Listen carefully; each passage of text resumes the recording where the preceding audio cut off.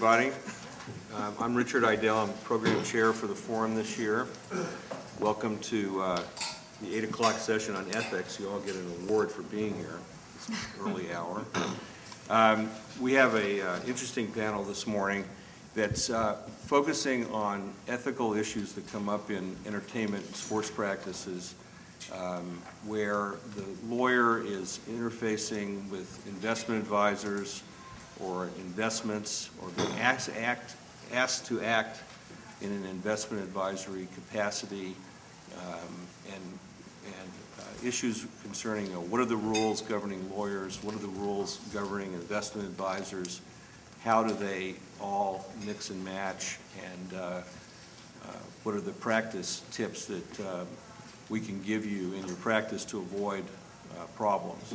Um, Our panel this morning um, is a group of three experts uh, in various areas that bear on this. Uh, Jerry Fishkin, Jerome Fishkin, who's to my right, is a, uh, an attorney specializing in attorney professional responsibility and conduct matters. He uh, is an expert witness. I've used him as an expert on occasion. Uh, Advises attorneys on ethics and law practice management, and he represents attorneys in uh, state bar disciplinary matters and, and uh, law students in bar application matters. Um, To his right is uh, Tracy Nickel. She is, uh, oh, I'm sorry, I'm sorry, to Mike's, Mike's right It's eight AM.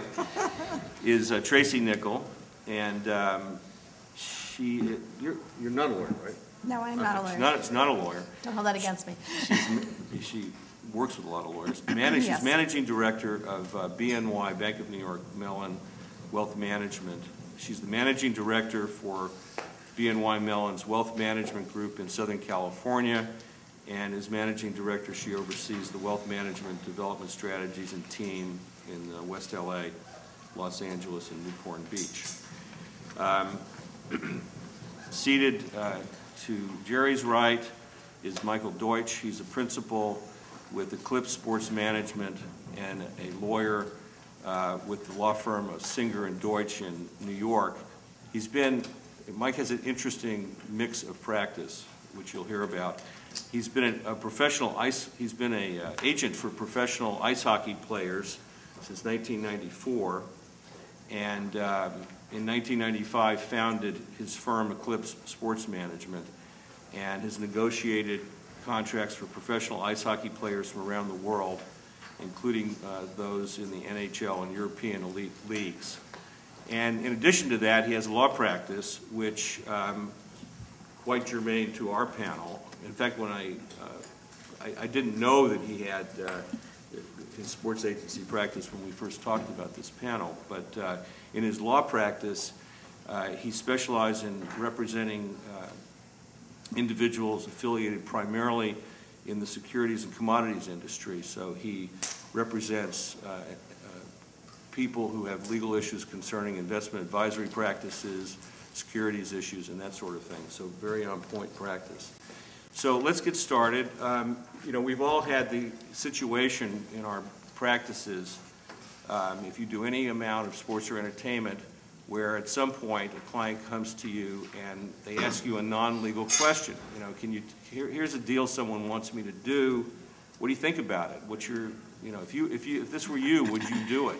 And suddenly you've got a, an offering circular or some type of transaction that this client is asking you to uh, give advice on. Um, You didn't take that course in law school, um, business advice, and uh, you're a lawyer, you're not a business person um, who generally gives advice on that. What do you do? What are the rules that uh, apply when you're doing that type of work? Uh, What would your malpractice carrier think about you're doing that kind of work? Um, So what we wanted to focus on this morning, in the short time that we have, is, you know, what are the issues, what are the rules, and how do you deal with it? And I'd like to turn first to Jerry Fishkin to uh, talk about what are the, what are the rules that uh, come up in a law practice when the client wants the lawyer to act as an investment advisor or monitor or work with a business advisor or business manager?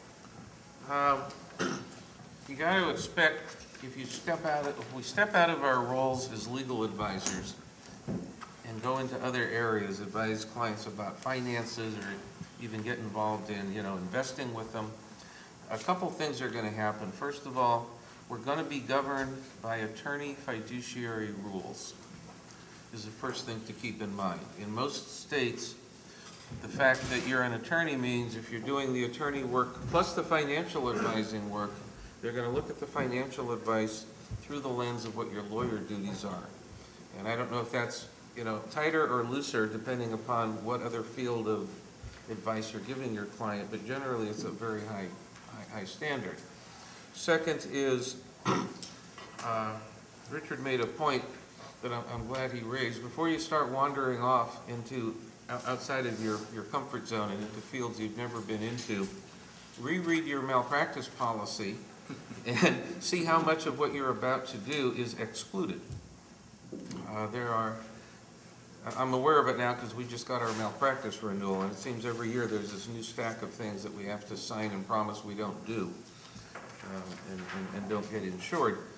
The, the next thing is, the basic standard, whether you're looking at a discipline or a civil standard, is if you get involved and go the next step, and, you know, your client brings an investment opportunity and says, gee, why don't we put a couple hundred grand in this?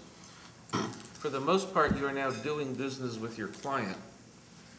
And If you make any money off this deal, you start off in any court dispute with a rebuttable presumption that you have taken unfair advantage or have used undue influence to get your client involved in something that you're involved in. And, and you work backwards from that point. In fact, there's one California case that says, doesn't even have to be un, you don't even have to make an unusual profit, just that you make any profit. In California, where we are permitted to do business with our clients, there's very strict rules on the paperwork that has to be executed before we do the business, including an express requirement that we advise the client to seek independent counsel. So that'd be the summary uh, from my viewpoint. These rules vary state by state, so you actually have to look up your own state's rules of professional conduct. There are some states where you can't do business with your client, period, and there are others where the, they're looser, but there's, you know, 50 sets of rules out there. Um, Tracy, let me turn to you and ask you to talk a little bit about um, how uh, an investment advisory firm like yours deals with the uh, situation of you're, you have a, a a client, but the client comes to you through a lawyer or through some other business advisor. What are the rules that are imposed uh, from the organizations that regulate investment advisors or the securities industry in terms of um, what the duties are? Uh, Sure. It- It would help me. How many people here are registered or registered investment advisors? Raise your hands. Okay, nobody, okay. Um, So let me just quickly go through. Um, What's important is that investment advisors are governed by both federal and securities laws, and, and there's quite a few of them. The Securities Act of 1933, the Securities Exchange Act of 1934, Sarbanes-Oxley Oxley Act of 2002, Investment Company Act of 1940. I'd like you to listen to the dates, by the way, because if you notice, they coincide with some significant things that have happened in the world. Everyone coincides with where we've had significant financial distress, right? Um, Title V of the Gramm-Leach-Bliley Act, the Bank Secrecy Act, the OCC, ERISA in 1974, and a lot of your clients may also be part of what we would call family office groups, where they act as individuals, we use that term.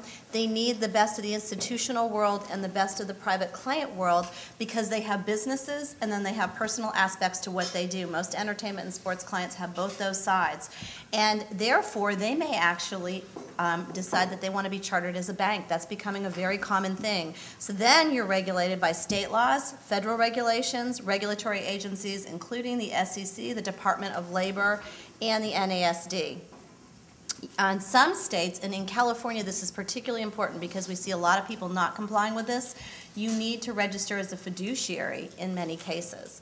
And um, the other thing that I would tell you is that the trade associations put standards on you as well, or on us as well. the NFL, the NBA, the Financial Planning Association, the Association for Investment Management Research, AMER, you'll hear that, the CFP Board, and the AICPA. So there's a lot of people overlooking what's done. And one of the things that I think is important is, are you vetting the people that you're doing business with? How do you know how they're complying with these rules and regulations?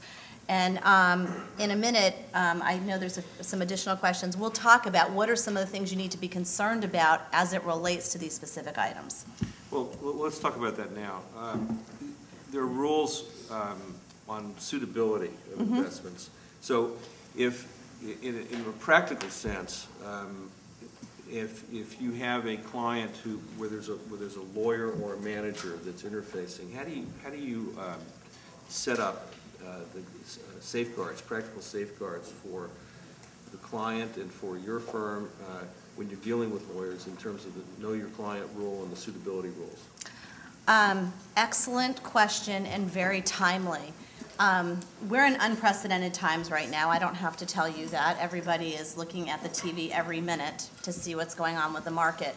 Uh, BNY Mellon, for example, is seen as one of the safe places. You might have seen that the government just awarded us um, the contract to help them with their $700 billion. We have tons of assets flowing in right now. One of the real issues we have is know your customer. And this relates to what you guys do as well. And Warren, who's my colleague over there, we just had a case come up last week of a, a famous person in the entertainment business. And the first thing we do when we're going to get into business, and we do it in conjunction with you, is we do really a background check. We want to know the history of the client, we want to know their background, we want to know their source of wealth.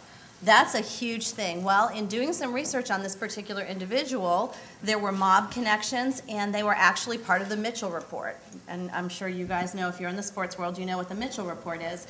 You know, not a comment on this particular individual, but you, um, as advisors, need to determine, from a character standpoint, if that's somebody that you want to be doing business with. BNY Mellon is extremely conservative. There's a reason why we're seen as one of the safe places. Used to be kind of boring to be safe and conservative. Now it seems to be in vogue. Um, it'll probably go out of vogue at some point in the future when we all forget what's happening right now. Um, that's the first thing. Know your customer um, and source of wealth. You've got to go all the way back. Where did this money come from? In particular, if you're dealing with international clients, um, I know we were talking a little bit about Russia. You know, you have to know how people got their money out of their country. And if you don't have the resources, rely on your financial providers because they do. That's the first thing. The second Tracy, thing. can I ask you? Yeah. When, in terms of knowing your customer, do you require meeting the customer, or are you willing to do it through their representative?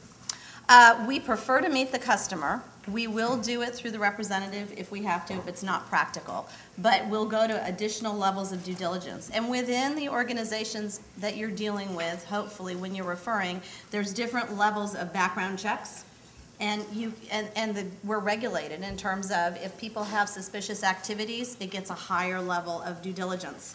And um, you can rely on that to help you do some due diligence if you don't have that access, and that's a great question. Um, In terms of the suitability, um, which was the second part of your question, incredibly important. Um, When we think about suitability, we think about it from a couple perspectives. The first perspective is, do we understand the risk tolerance of this client? What's going on right now with people? How many people here thought they should just sell everything and go to cash? Anybody? We call that timing the market. Okay, 92% of your return is determined by having the right investment plan. Okay, 92%, it's pretty, it's pretty impressive. Only 5% is determined by actually um, timing the market. Typically, historically, that's what things would tell you. Um, You need the right plan, and it should be in writing. How many of your clients have written investment policy statements? That's the first place to start. Very good, very impressive, because oftentimes we don't see that. That's one key thing that you want to make sure you have. From there, you can determine what managers you want to select or what investments. Um, and what's incredibly important, how many people here work with advisors that recommend open architecture, best-in-class management? Raise your hands. No? What happens is if you hire a whole Maybe, bunch maybe you should explain what those are. when you hire a whole bunch of managers, your asset allocation might say, let's have large company, large cap, Let's have a segment for mid companies, middle cap, and a segment for small cap. And somebody might say to you, well, we're gonna hire one or two managers for each of these sections. Where it gets into trouble in a market like this is if you don't actually aggregate all those managers together and look at everything at the security level, the actual company holdings. I just did this for a client. They had seventeen percent of their portfolio in a company called AIG. Okay? Probably not a company you want to be holding. And the reason is, is there wasn't one manager that held seventeen percent of that company. One manager held five percent, one manager held ten percent. One manager was selling it, the other was buying it. So it's incredibly important when you guys are looking at the suitability of investments that you understand how things are constructed or you're working with people that do and that you do audits on things, we- a statement analysis or an audit to pull it all together and look at it all the way down to the security level.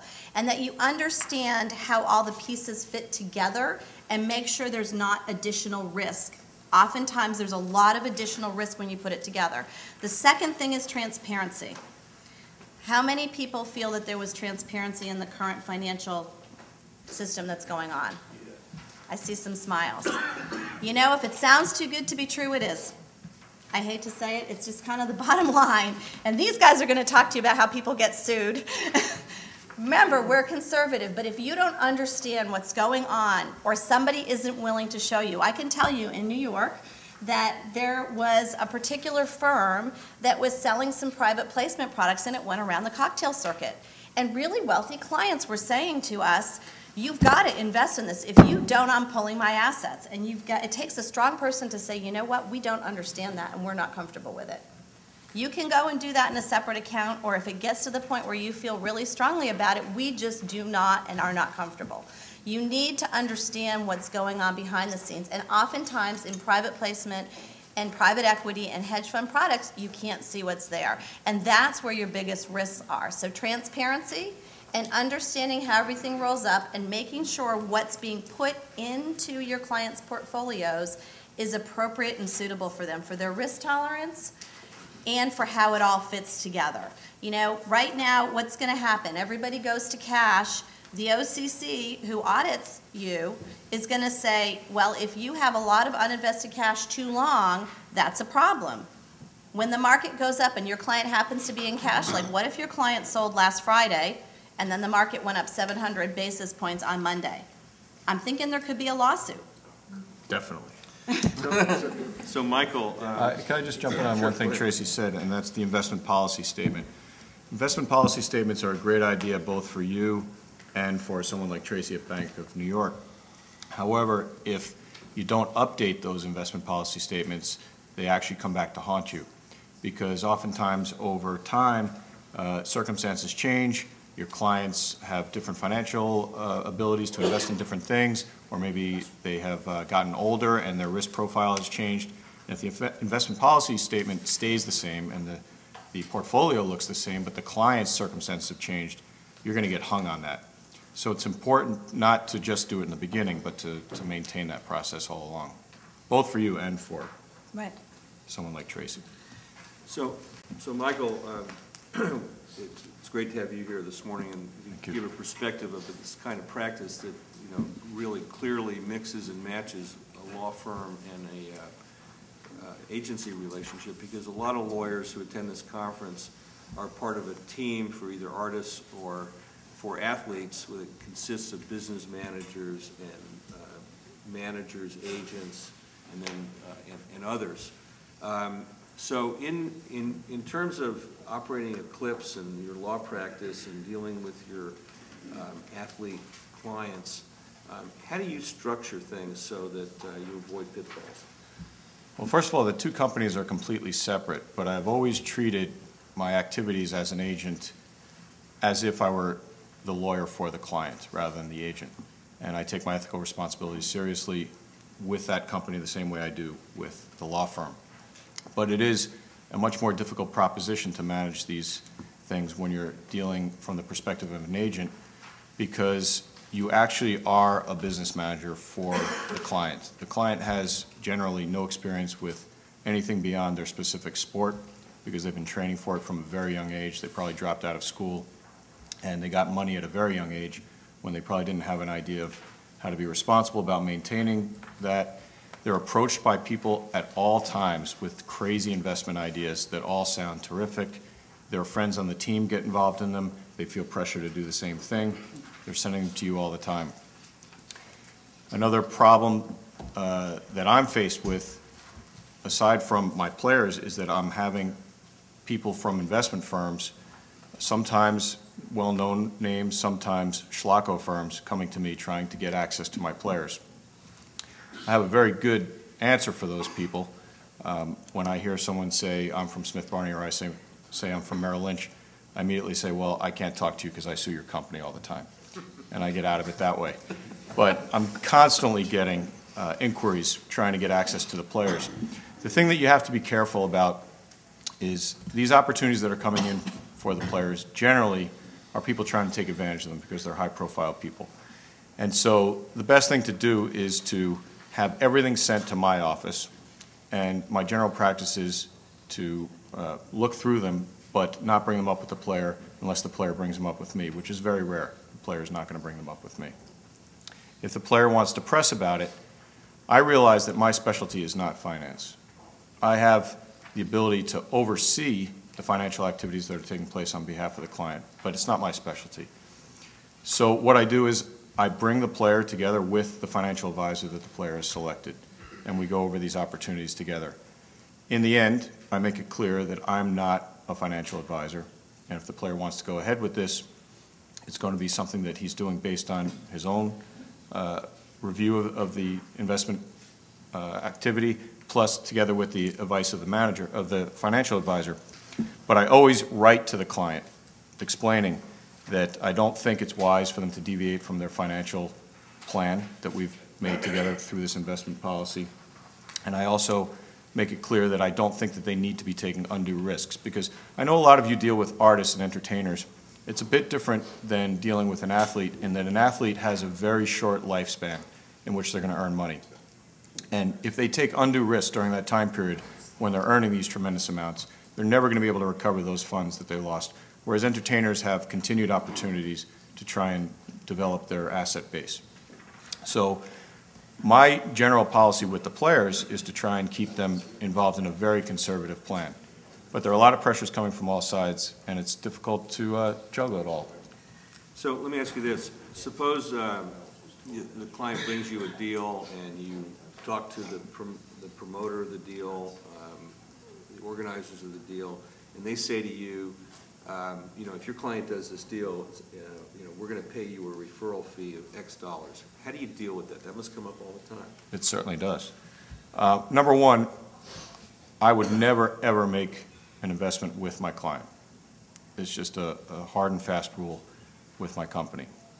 Number two, I would never accept any funds in connection with something that my client does. The only way I earn fees is directly from my client based on the contract that they sign with their professional team.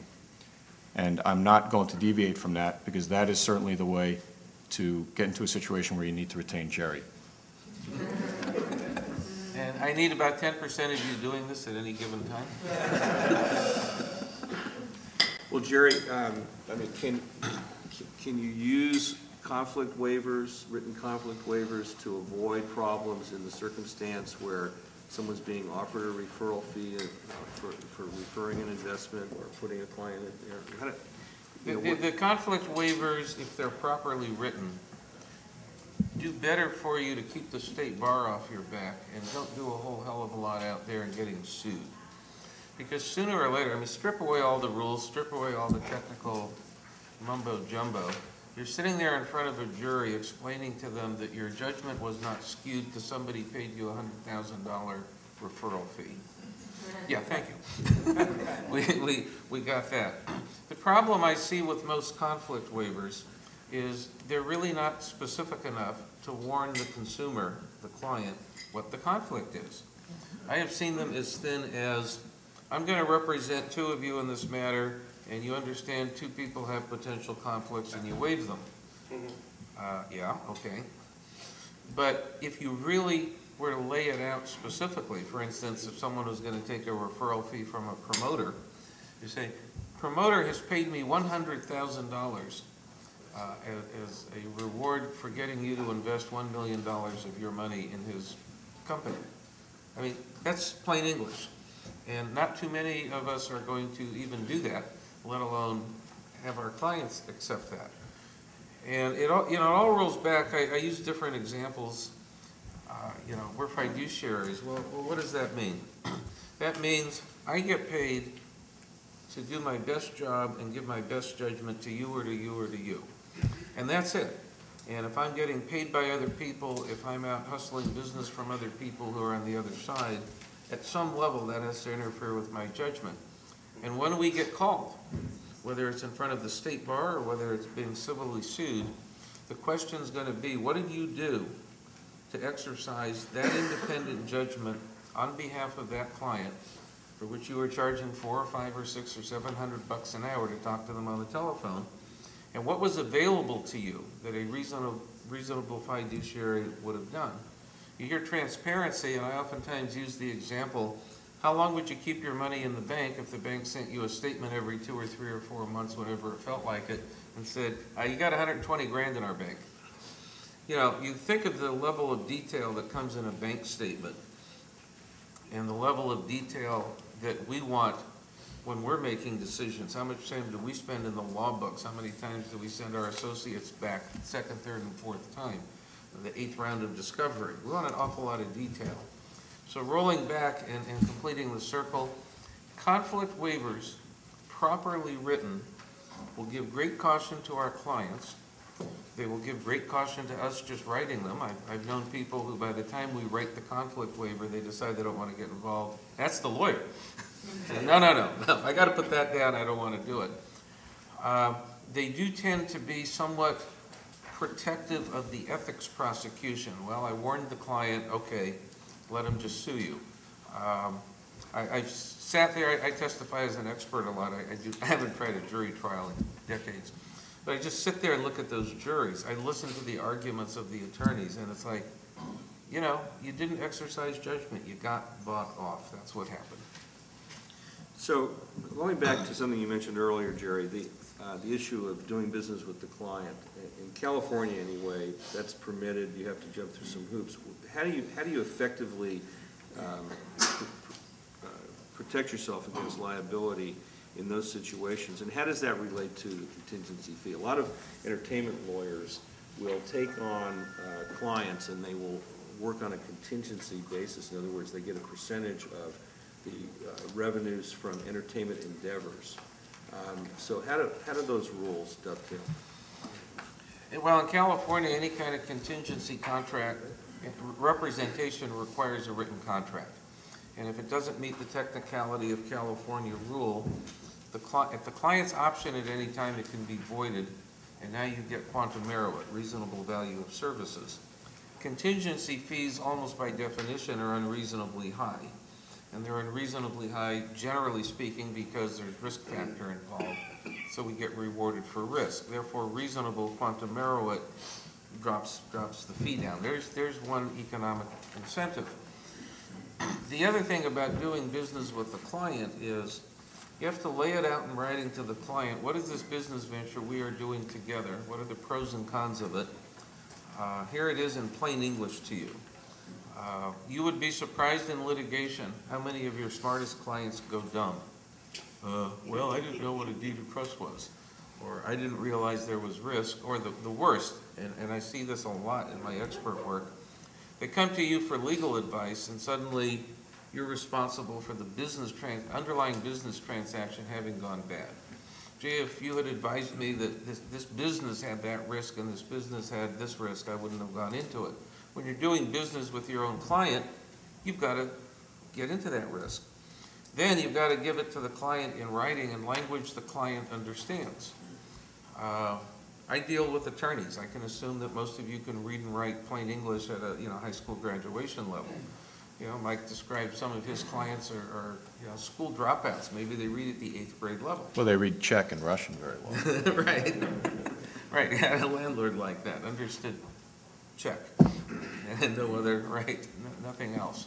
Um, And then the client has to have time to consider it, and in California, we have to advise the client I advise you to go seek another attorney to look over this whole thing. That other attorney, looking over the transaction, even signing off on it, does not prevent liability on our part because we still have the initial duty to the client. So probably the reason we can do business with clients in California is a bit of, you know, the old west is still out here. Uh, There are some states, Richard and I worked on a case once where we were comparing the rules of the two states. And uh, in one state, the bus, California, the business transaction was okay with certain bells and whistles. In the other state, uh, that that the attorney and client were also connected to, the, the attorney was prohibited outright from doing business with the client. Um, You know, if none of you did business with your clients and you all wrote really good conflict waivers, I'd, I'd need to get a second specialty. Uh, But that's, that's it. If you're gonna march into that risky area, then write it up in plain English, get it signed, make sure the client has plenty of time to think about it. So the flip side of the liability for the transaction, if it goes bad, is, is the lawyer who engages in business with their client um, losing their participation because when, when the transaction goes good and a lot of money is made because they follow the rules, um, and there are, you know, some pretty stiff positions that were taken in cases like that. So how far do you have to go? I mean, it says, tell the client they can go see another lawyer. Does that mean, um, you know, give them a time to do that, direct them to do that? What's the language that you would use when you're trying to fulfill that requirement? I mean, I've seen words like, I urge you to seek a client. Uh, I Right. won't do this unless you go to Right. another lawyer. Right. You have to get the other lawyer to sign off on it. If the, lo- if the client comes back to you and says, I don't want to see another lawyer, I've got you, you're my lawyer, what, what do you, what do you tell them? Legal and the practical. The Legal in California is, I recommend that you seek the advice of an independent lawyer other than me. Give you the papers and throw you out of my office. The practical is, number one, if the client signs the paper right there on the spot, they have not had sufficient time to consult counsel. And so what I like to tell my client lawyers is, take that package and mail it to your client, and add a line that says, please take as much time as you need for this. And so the client has to make the affirmative step of signing it and bringing it back to you. Okay? There's little or no argument about the client having sufficient time because the client has made the decision. If you're involved in a transaction where the other side is saying, oh, this is a good deal and you gotta do it right now, well, you know, what did, what did Tracy say? If it sounds too good to be true? Same thing with high pressure. I mean, it just, just isn't worth it. Um, A lot of times now, this being what, my, my sixteenth year doing defense work on, in the private sector, a lot of times now I realize the question I have to ask my own client is, how badly do you need this work? This project, this client, this transaction? Uh, If you're acting out of desperation, you're probably overlooking something. And if you stop and think about it, if you're a reasonably successful attorney in this business, whatever this transaction is, whatever the fee it brings in, someone will be in next week, next month, next year and pick up that slack. You know, on, on the first day of free agency, if it sounds too good to be true, it, it might be true. Uh, You know, it, it, these, these, these things go through. What's, what's the level of risk? Contingency lawyers are bigger risk takers than estate planners. That's just the nature of the beast. I, I have to tell, I, I do, again, I do a lot of work for contingency injury lawyers. And one of the first things I have to tell them is, I'm an hourly rate lawyer, I am not a contingency fee lawyer. Okay, there's a reason I do that. I have a less tolerance for risk than you guys going out there. Um, The, the investors, you heard the, the whole speech from Tracy about being conservative. Um, So, so you have to look internally to yourself, and there's only so much you can accomplish but what you can do. If you want to take risk, double your malpractice coverage, and, and budget for hiring somebody like me once every few years. But one thing Tracy said that shouldn't be missed is that ninety-two percent of your return is gonna be based on asset allocation. And I think the biggest trouble you'll get in is if you allow your clients to over-concentrate in a particular investment or a particular investment style or group or asset. Um, Because if you spread the risk through different assets, you're much more likely, much less likely to get in trouble with your clients.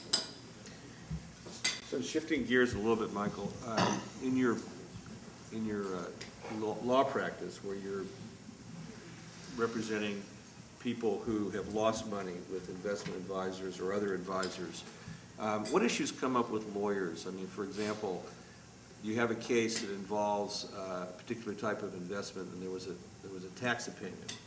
Um, What are you looking for in terms of whether or not you can uh, establish liability of a lawyer for some role in the investment structure? Well, all these disputes are held in securities arbitration under the auspices of FINRA, which is the Financial Industry Regulatory Authority. It's a combination of NASD and NYSE regulation. And in these arbitrations, I'd say 95% of the time, it's going to come down to documents. Parties always have differing opinions about what actually happened, and the panel wants to look to the documents. So they're going to look to the documents that came from Bank of New York, for instance, from the client, but they're also going to look to the outside advisors, whether there was an investment policy statement that was provided by an outside advisor, whether when certain transactions were going to trigger massive capital gains taxes, there was an opinion sought from a tax advisor, whether it be a- an accountant or a lawyer. And those documents are critical to the entire process. So if you're a lawyer that's managing this type of arrangement between your client and uh, uh, an institution, you need to make sure that the documents reflect the advice that you're giving to your client. Because if those documents are not there, that's just as telling as documents that are there. And as Tracy mentioned, the investment policy statement needing to be updated, so do these other documents.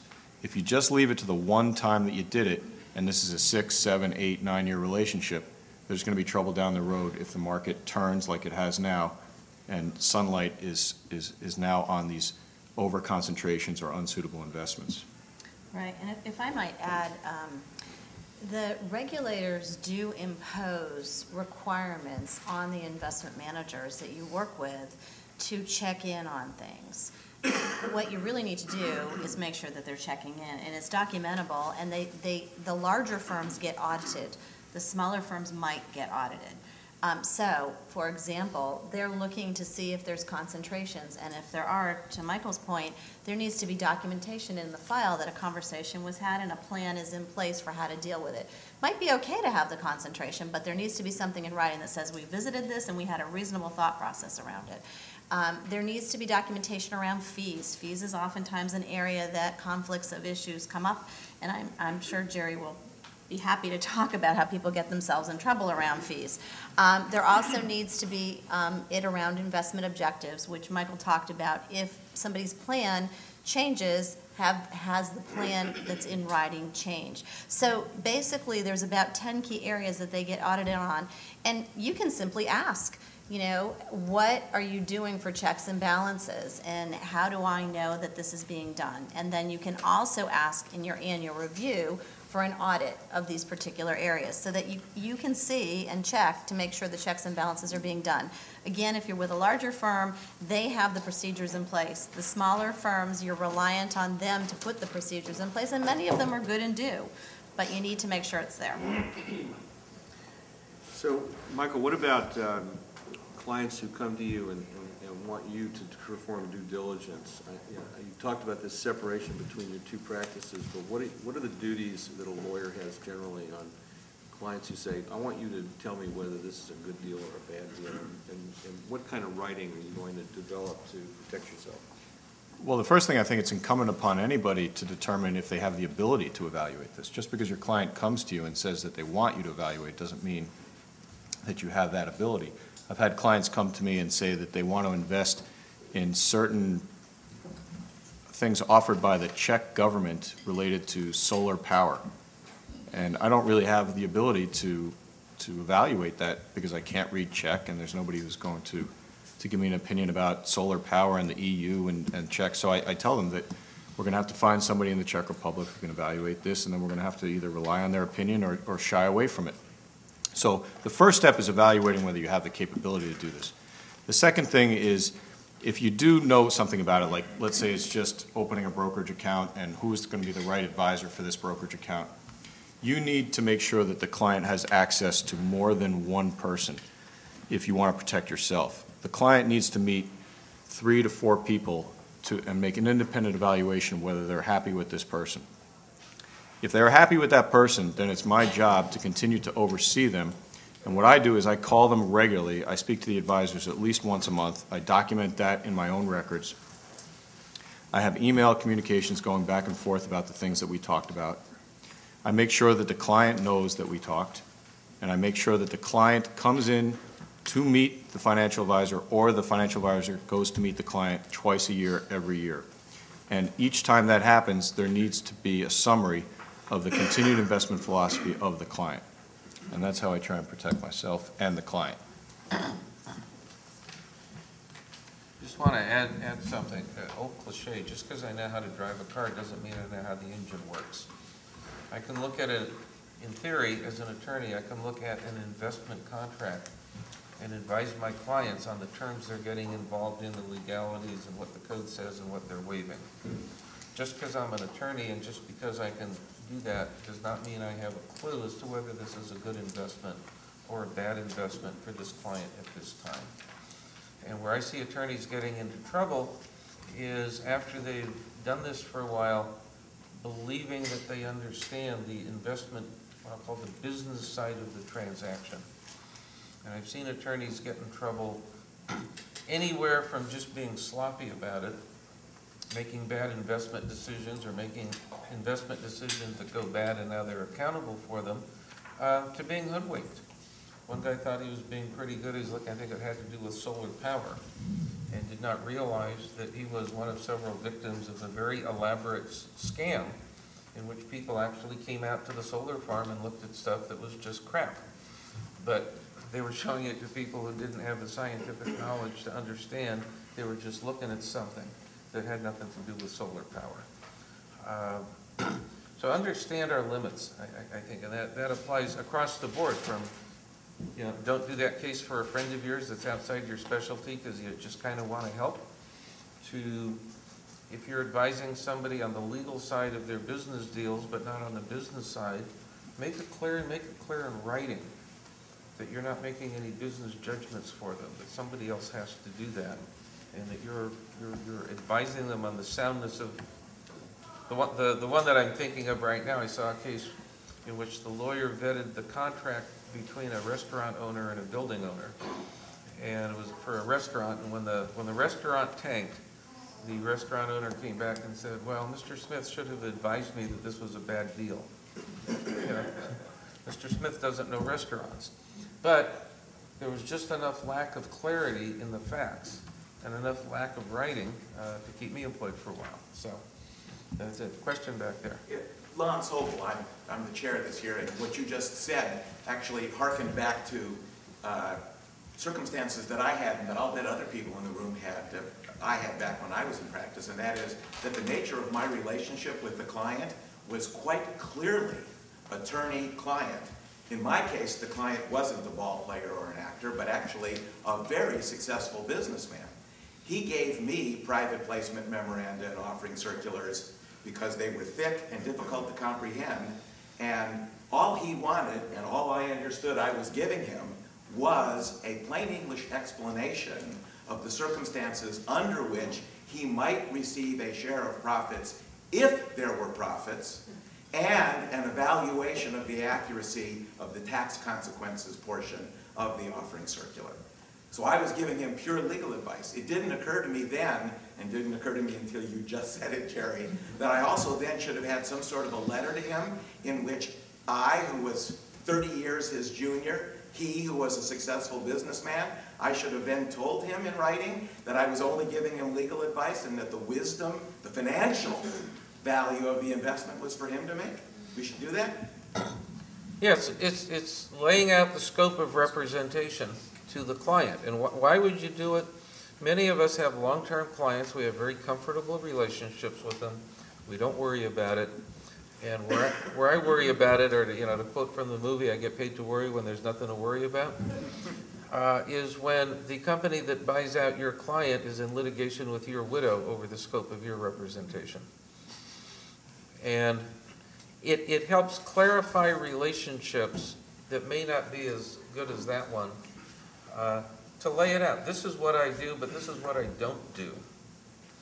And my concern is day-to-day transactions that go bad. If that transaction went bad and a multi-millionaire loses ten thousand dollars, he might not think about it. If he lost two hundred million dollars, well, he just might sue you. Uh, Jerry, in, in my Yeah. legal practice, it's, it's very, very easy to separate and make those lines. I can tell clients that this is the settlement, and, and these are the rights you're giving up in the settlement, but in terms of the monies you're receiving, I have no idea about the tax consequences, and you're gonna have to consult with an accountant or a tax lawyer. And I leave it at that. It's very clear. It says in my retainer agreement, I don't provide tax advice. With the agency, the players expect that you do everything. And that applies to things I'd rather not even talk about, like arranging trips and whatever, but they expect that you do everything. So the nature of the relationship is very different, and you have to provide services that you would never provide in a, in a law firm environment. And, and, and- and, that's okay. My point is not that you should or shouldn't do it. My point is you should do it with your eyes wide open, so you know what you're doing, and you should define what the scope of the representation is. Because I want to take you down to the very, very last two groups of people. My, my partner and I published an article on this recently. One of them are what we call toxic clients. And these are people who, because who they are and who I am and what the nature of the relationship is, it will eventually go bad uh, no matter how good or how bad I am. It's just, it's, I know, you know, first date. you know right then. Uh, and the other is what we're seeing an increasing number of, given the complexity and the size of the society we live in, is the predatory client. You defined a relationship that was similar to one of the first clients I ever got, and I realized it was a guy who was not such a savory business person, who deliberately looked for new attorneys to handle his legal work because he could get it cheap and he could sooner or later take advantage of us because he knew a whole lot more about the process uh, than we did. And that can happen at a much older age. You know, when I, when I was in my first year and somebody pulled a fast one on me, I felt like, well, this is experience. So if someone pulls a fast one on me this month, I'm embarrassed. But it still happens. It happens to all of us. So one, one area, then we'll take some questions. Um, What are the, what, what are the, what are the issues from the state bar compliance point of view? I mean, that's a big part of your practice. So if you get involved in a situation where the client, the client ends up making a complaint to the state bar because you did business with them, you didn't follow the rules, what are the, what are the problems? Problems are very simple. The state bar, like most regulators, are rule-oriented. They read the rule, they look at what you did, you complied or you didn't comply. The reason why maybe you didn't comply are very interesting, but in a rule-oriented society, it's kind of like the speed limit, you know, you get very little wiggle room on the speed limit. It's, if they ticket me for doing 26 miles an hour driving by a school, I can't beat it, because it says 25. Uh, So that's what they look for, first of all, is what the rule is, and, and then they look at the consequences of the behavior. So it's very difficult, say, if you didn't have a conflict of interest waiver, which, by the way, has to be signed by both clients, not just one.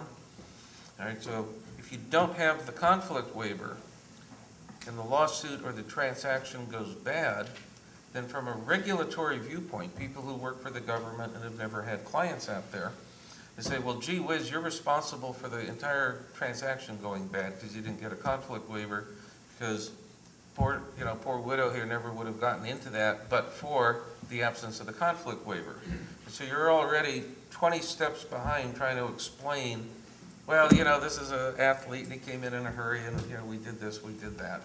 Uh, Business guy who's, you know, twenty years more experienced than I am and can see what this transaction was about. So we don't actually have that many rules that govern us as attorneys uh, in, in the great scheme of things. And what they mostly amount to, besides being decent and honest, is certain kinds of transactions must be documented in writing and they must be well explained. And so that's what you do. And just like, you know, my dentist wants an informed consent from me before I'll stick a piece of machinery in my mouth, uh, I want a fee agreement and if necessary, a conflict waiver or joint client consent or some other kind of authorization paper that spells out the nature of my relationship with the client. Then I want to update it. And so that, that's basically it. Other than that, you, you could, in the worst case, be looking at discipline and, you know, be out of work for a few months or a couple of years. Any questions? Yeah, Warren. Hi, uh, Warren Cohn, just by way of disclosure, I'm a colleague of Tracy Nichols, and I head up our sports and entertainment practice at BNY Mellon. Uh, A question for the panel is, um, the majority of all of our clients, both from the entertainment talent side as well as the sports and- and and athlete clients, come with a team of oftentimes both an entertainment attorney as well as a business manager. To a credit to most people in this room, I rarely see where their attorney has uh, gone into business with them, which is a topic of a lot of discussion here, and advise them on investment management issues. However, on the business management side, there is a sizable minority of business managers um, who do both invest with their clients, go into business with their clients, and/or direct their investment issues. My question for the panel is, is, is there a conflict of interest? How, is, is it a lack of enforceability in the CPA society that doesn't obviously cross over into the, to the legal world, um, that allows business managers to do that? And how much of a litigious issue do you find that entertainment attorneys ought to be thinking about, and people in this room, for their clients who also invest with their business managers? Well, obviously, it's a different set of rules, but from the standpoint of litigation, just in court, you know, the, the conflict of interest is the basis of a professional negligence claim. Um, It's just a different set of rules. I mean, and, you know, and if the CPA is getting compensated by the promoter or the, you know, of the investment, as much evidence of conflict of interest as any other situation. Anybody want to add to that?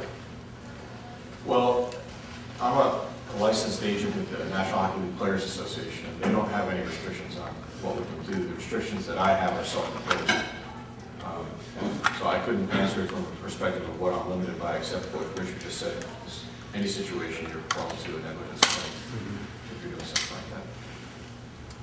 Could you comment on deferred compensation and fee agreements with your clients' investment example, the client's venture? You see, retainer agreements will say X fee plus two points deferred compensation. The filmmaker, just assuming that the filmmaker makes money out of how it's supposed to run Is that, is that, is that business with your client, do you run into that, is that a problem area? Uh, I haven't seen this factual scenario before, so not much I could answer. But I, I think if I just step back from it, you, you've raised the question I have seen from time to time, which is when the nature of the relationship with the client is such that it's not so much a fee, but you have transferred it to a business relationship. Be, I, I've seen them in more extremes. The one you've described, I haven't, so I don't, it's like I can guess off the top of my head, but that's about it. I don't think that's any different than a situation that was very common in California seven or eight years ago when, you know, before the dot-com bust, law firms were taking stock in startup companies, which clearly is doing business with the client. I mean, I don't see any difference between that and what you're talking about, which is taking some points at the back end of a deal, um, which, uh, as part of the, as part of your compensation. Has taking what the back end deal, have you seen situations where that has caused problems? I mean, I've seen agreements like that, some of us represent folks who are. Well, you know, I used to. I used to think that uh, the, the line in, in uh, in my contingency litigation agreement that said I have a, a lien for the recovery was perfectly fair and reasonable. And, and then a case came down saying you have to get a lawyer to approve of that um, in California. So I, I think you have to take the most conservative approach and say, you know, am I, am I violating the rule that says you can't do business with a client without jumping through hoops? And as Jerry said, there are some states, I know you're from, uh, from Virginia, right?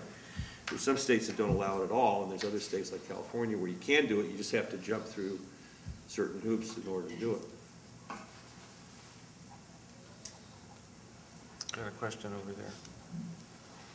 Hi, my name is Dako. I practice in Nigeria where the rules are not so, the legal regulation is not so robust. Um, but I have comments as well as a question. Um, now for the client, um, attorney-client relationship, um, in Nigeria, it's almost like what Michael said, apart from giving legal advice, you act like an agent a lot of the time and you have to do all kinds of things for the client. So you have to have your own self-imposed rules to say, no, I can't go that way. And what we do is, um, a lot of time when we get to parts or specialties that are not ours, we do referral. unfortunately. We can refer, we don't, we don't necessarily refer them, but we seek the advice of those experts, get the opinion and get to the clients. Because sometimes when you send clients, you're like sending them away, so you have to be careful and you have to, you have to have a balance to this. My question, but I see across board that everybody's just trying, everybody's trying to play safe, basically. Um, while we do not have such really stringent rules and clients suing, you know, while that is growing, uh, I'd like to ask that how do you really create a balance? You have a client who you've built a relationship with for 12 years, you know, and he comes with you, to you with um, something, um, some investment he wants you to advise him or her on, you know, how do you create a balance with not sending them away, trying to keep safe, not sending them away? You know, I, I, for, for us as a firm, we, as much as possible, we try to go with the client on, on their business plan. What I mean is not necessarily, not necessarily that you, you're just going to go with them, uh, whether it's wrong or right, or whe- whether it's on source that's, that's illegal or not. But as much as possible, we go with them and see how far we can help them with, you know, so how do you create a balance? My second question is, what about where you as a lawyer or a law firm wants to invest in a client? Like we have a client who very talented and, uh, well, she had, she had issues with a manager that she'd had for about three years who was kind of just milking her and at the end of the day, she broke the, as, as the, when the contract ended, she ended the relationship and she was out there, she wanted to get an album out, but she didn't have funds. What's your take on investing in a client? Well, with, with your first question, generally, my rule of thumb is that if I have a good relationship with my client, then I'm willing to send them to other people to seek professional advice, and I'm secure in the fact that I think I'm going to keep that client. If I don't have that type of relationship, and it's vulnerable to somebody else speaking to them, then I had a lot to worry about in the first place, and it, it wasn't the type of relationship that was probably going to last for a very long time. So I've never been hesitant about sending them to people who can provide better advice than I can, and I certainly use tax advisors and financial advisors and insurance advisors for my clients all the time, and these people meet with my client.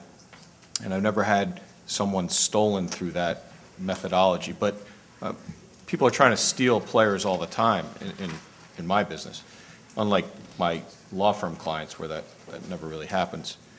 So I'm not too concerned uh, about sending my players out to, to other people. Um, I don't know. Want to respond to that? Uh, Kind of two inconsistent comments from me. When I was brand new and every client counted and every lost client was desperation, I was really concerned about that. And I started establishing not only good client relations, but relationships with other people, other lawyers, people in other professions. It's, it, you begin to learn who's reliable and who's not. And so you, you might call in somebody to advise the client, but you're doing the supervising, or you might send the client out, but you begin learning who the other reliable business people in your community are, so they don't steal your client out from under you. Now that I'm more established, I'll tell you the same thing Mike did, which is somebody comes in and they want, there's something I can't do, I have no hesitation giving them somebody else's name, because I'm comfortable they'll come back. And if they don't, they're probably not as good a client as I'd like them to be anyhow. Uh, th- Your second question is a variation of what I spoke about a couple times here, where under California law, if you are going to, as you put it, invest in your client, do business with your client, there's a whole lot of explanation we California lawyers are required to give our clients in writing, and we're specifically required under California law to advise those clients to seek the advice of an independent attorney before coming back and letting us do it. It is the sort of transaction that is in, it works in two ways. If, if, if your client goes out and makes a lot of money, at some point, they're going to think they're paying you too much, because they'll forget how poor they were today. And, and if the transaction goes bad in California, they'll sue you and say it was your fault. So it's a high-risk transaction, that's all. Uh, And you make your, part, part of your decision is the legal technicality. Much more of it is, we forget sometimes, we're in business. I'm a, I'm, I'm a small business, right? And so I'm making business judgments all the time. And one of my business judgments, if I take your example, is how much risk am I willing to undertake to get involved in helping to finance this person and hoping that I make a good profit off it in the future if they become successful? Um, It's a business decision, and it has business risk. Essentially, I- invest in, in nearly every one of my clients because in order to uh, get a client in, in the hockey world, you have to get them when they're about 15 or 16 years old. And there's really a low percentage that they're, number one, going to get drafted into the NHL, number two, get a contract in the NHL, and number three, actually make it to the NHL. So your odds of actually getting paid on these clients is very low. But that's an investment. But we would never actually put dollars into the career or, or some business proposition of our clients. Okay, let's take one more question, then we have to wrap it up, and I'm sure the panelists will be here for other questions. Uh, it's a two-part question. Uh, first, um, would this apply, or would it be applied if, uh, if the investment that you're being asked to consider is completely unrelated to the client's talent? So for example, you have a recording artist who wants to start a uh, parking garage to diversify and wants capital. And the B part of the question is, uh, to what degree, percentage-wise, do you think these rules are actually adhered to? Second part was, that, to what extent are the rules adhered to? Uh, I think the rules are adhered to most of the time, and I make a really good living on the rest. I, I practice disaster law.